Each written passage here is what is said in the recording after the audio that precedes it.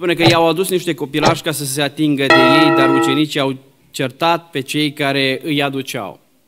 M-am gândit la părinții aceștia care au adus copiii la, Domn, la Domnul Isus Hristos să se atingă de ei și m-am gândit că au fost niște părinți destul de responsabili, niște părinți care s-au îngrijit de copiii lor să ajungă la Domnul Isus Hristos și Isus să-i binecuvinteze. Vorbim cu fratele Petru la mesajul care îl va avea în această după-amiază. Îmi spunea el, sunt frământat de multe gânduri, vorbesc cu tot mai mulți părinți și în vremea aceasta pe cei mai mulți dintre ei îi văd plin de îngrijorare cu privire la viitorul copiilor lor. Și m-am gândit să am câteva gânduri legate de părintele care se luptă între îngrijire și îngrijorare. Părintele creștin trebuie să, fie, trebuie să se îngrijească de copii, dar să nu se îngrijoreze. Să știți că de multe ori când uh, vorbim de cuvintele acestea putem să facem confuzie. Îngrijorarea și îngrijirea par sinonime, dar ele sunt antonime din punctul de vedere al Bibliei. Chiar și în dicționar, dacă ne uităm, am uitat în după amiaza aceasta în dicționar și am văzut că îngrijorare înseamnă agitație, frământare, neliniște, temere, zbucium, lipsa păcii. Sunt acțiuni care nu depind de noi. Acțiuni care nu depind de noi. Pe când îngrijirea, în dicționar, înseamnă a păstra ceva într-o stare bună, a supraveghea, a fi interesat, a-ți da silința sunt toate acțiuni care depind de noi și acestea ne cer Dumnezeu să le facem.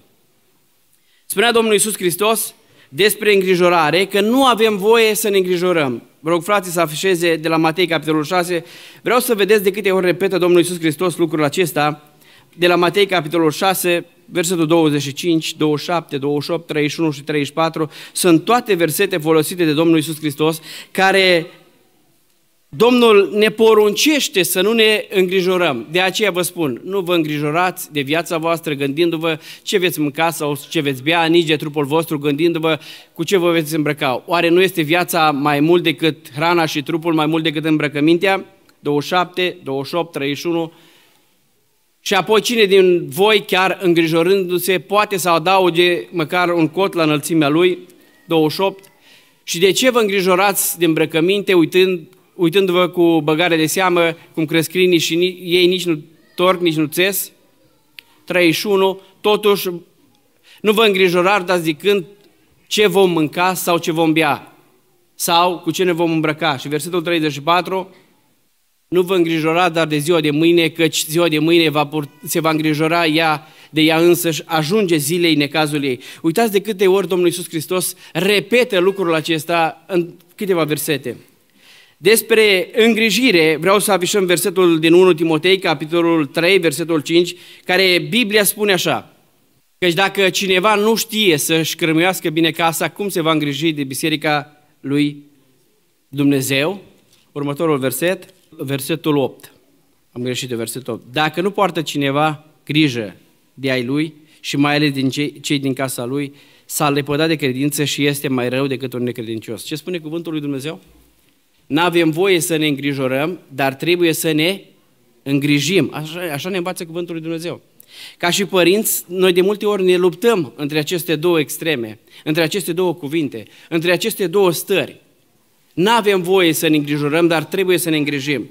Să știți că uh, îngrijorarea, să știți că îngrijirea te responsabilizează. Spune cuvântul lui Dumnezeu că noi trebuie să ne creștem copiii în frică de Dumnezeu, că trebuie să învățăm legile lui Dumnezeu și asta înseamnă responsabilitate. Îngrijirea te responsabilizează. Îngrijorarea te demotivează. Avem un pasaj în Maliahi, nu vreau să citesc versetele pentru că timpul înaintat în care ni se spune că copiii lui Israel, lui Israel au spus într-o împrejurare ce rost are să slujim pe Dumnezeu. Este contextul în care Dumnezeu vorbește despre zecioală, în care ei au nu mai aduceau zecioară la casa lui Dumnezeu și ei au zis, n-are niciun rost să, să mai slujim pe Dumnezeu. N-are niciun rost să mai ducem zecioară la casa lui Dumnezeu, n-are niciun rost să slujim pe Dumnezeu. Chiar vedem pe cei care sunt trei că le merg bine, chiar vedem pe cei care, care nu slujesc pe Dumnezeu că o duc mai bine ca noi. Și ce rost are? Și au început să se îngrijoreze, demotivând slujirea aceasta în casa lui Dumnezeu. Este legată de dărnicie, este legată de a împlini cuvântul lui Dumnezeu. M-am gândit că atunci când Nu cauți întâi împărăția lui Dumnezeu. Atunci când pui totul în buzunar pentru tine, atunci când nu-ți pasă de lucrarea lui Dumnezeu, atunci când nu știi să dai lui Dumnezeu ce este al lui Dumnezeu și să ții pentru tine ce este al tău, apare îngrijorare la, la, la nivelul minții noastre. Și începem să fim demotivați în a sluji pe Dumnezeu.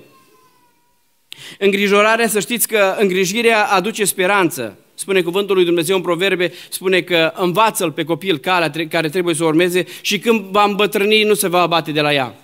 Dacă te îngrijești când este, când este, când este mic, când e copil, când e prunc, când e, te îngrijești de el și îl înveți calea lui Dumnezeu, ai grijă de lucrurile pe care Dumnezeu ți-a poruncit să le împlinești, să-l înveți, să stai lângă el. Spune că atunci când va îmbătrâni, când nu mai este în puterea ta, Dumnezeu va lucra, slăvit să-i fie numele. Asta face când noi ne îngrijim. Dar dacă doar ne îngrijorăm, să știți că îngrijorarea năruiește speranțele. Îngrijorarea năruiește speranțele. Voi ați auzit părinți dintre aceștia care spun nu știu ce se va întâmpla cu copiii. Nu văd niciun viitor în generația de mâine. Copiii aceștia vor fi ai nimănui. Noi am mai făcut câte ceva, noi am mai slujit, noi ne-am mai adunat, noi ne-am mai rugat, dar ăștia, de ei, vai și mari de ei. Voi ați auzit părintele aceștia? Eu am auzit. Am auzit vorbe dintre acestea. Frați și surori, viitorul nu este în mâna noastră. Viitorul nu este în mâna părinților. Viitorul este în mâna lui Dumnezeu, slăvit să fie numele.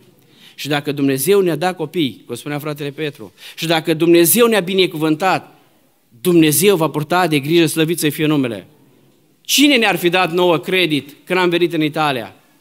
La 17, 18 ani, 19 ani, să pleci de acasă fără părinți. Cei mai mulți dintre noi, nebotezați cu Duhul Sfânt, nebotezați în apă, nu erau multe biserici, fără părinți lângă noi. Cine ne-ar fi dat nouă credit? Dacă ai fi cerut cuiva să spună cam ce crezi că s-ar alege de generația aceasta care a plecat, care a plecat în diaspora, ce s-ar alege? Vă spun eu, puțin care ne-ar fi dat credit. Dar iată că în seara aceasta suntem aici și slujim pe Dumnezeu. Este harul lui Dumnezeu. Este îndurarea lui Dumnezeu. Domnul ne-a purtat de grijă. Domnul ne-a dat putere să nu cădem în păcat, să ne ferească de ispite. Domnul ne-a dat putere și pe unii ne-a scos când am căzut. Ne-a ridicat, slăvit să fie numele. Dumnezeu a avut de grijă ca noi să fim într-un loc așa acesta în seara aceasta și este îndurarea Lui. De aceea spun, viitorul copiilor noștri este în mâna lui Dumnezeu. Să nu dezdrăjduiți, să nu fiți fără speranță, să nu vă îngrijorați la nesfârșit. Îngrijește-te și nu te vei îngrijora. Roagă-te și Dumnezeu va purta de grijă. Slăvit să fie numele. Doar câteva, două, două, două lucruri să mai spun despre, eh, despre eh, aceste două cuvinte. Îngrijirea, să știți că aduce pace. Îngrijirea aduce pace. Filimon, Filipeni, capitolul 4, versetul 6-7, spune că atunci când te rogi, atunci când stai înaintea lui Dumnezeu, atunci când îți aduci problemele tale înaintea lui Dumnezeu, spune că pacea lui Dumnezeu care întrece orice pricepere ne va păzi gândurile și, și mintea în Hristos Iisus. Asta face când te îngrijești. Când te pui pe genunchi și te rogi, nu mai ai timp să te îngrijorezi. Când stai înaintea lui Dumnezeu și citești din cuvântul lui Dumnezeu, vreau să spun că când te îngrijești de lucrurile acestea spirituale, îngrijorarea nu-și mai are loc în viața noastră. Și Dumnezeu să ne ajute la aceasta. Dar când ne îngrijim, când ne îngrijorăm mai mult, când ne gândim, când ne frământăm mintea, când ne punem, facem tot felul de scenarii, câteodată sumbre în viața noastră, câteodată tot felul de lucruri vin peste mintea noastră și lăsăm deoparte împărăția lui Dumnezeu, lucrurile care ne cheamă Dumnezeu să le facem. Să știți că cădem cei mai mulți în extrema aceasta. Și Dumnezeu nu vrea lucrul acesta, pentru că spune cuvântul lui Dumnezeu că neamurile, neamurile se, se îngrijorează, neamurile caută cu ce să mănânce, ce să mănânce și cu ce să îmbrace.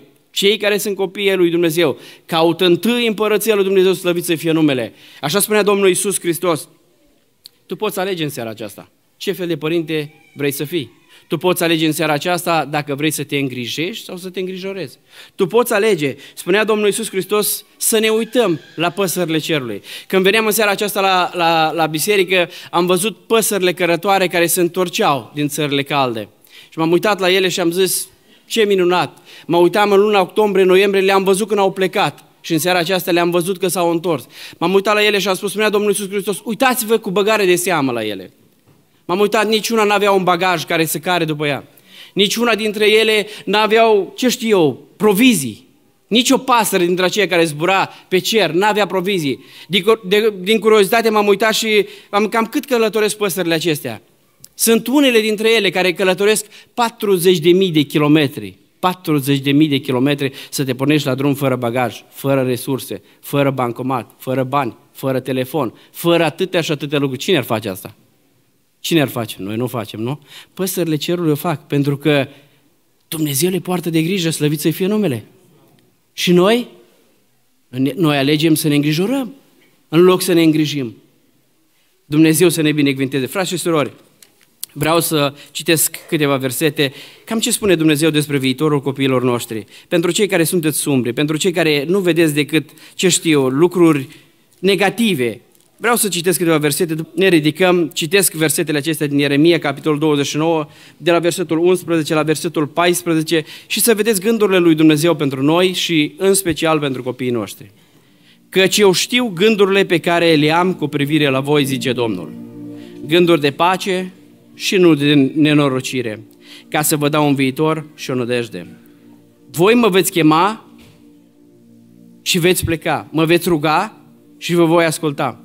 Mă veți căuta și mă veți găsi dacă mă veți căuta cu toată inima. Mă voi lăsa să fiu găsit de voi, zice Domnul, și voi aduce înapoi pe prinșii voștri de război. Vă voi strânge din toate neamurile și din toate locurile în care v-am izgonit, zice Domnul, și vă voi aduce înapoi în locul de unde v-am dus în robie. Slăvit să fie Domnul! Asta e gândul lui Dumnezeu pentru noi și pentru copiii noștri. Este un Dumnezeu, slujim un Dumnezeu care ne dă nădejde, care are un viitor, care știe să poarte de grijă și noi ne încredem în El, binecuvântat să-i fie numele Amin.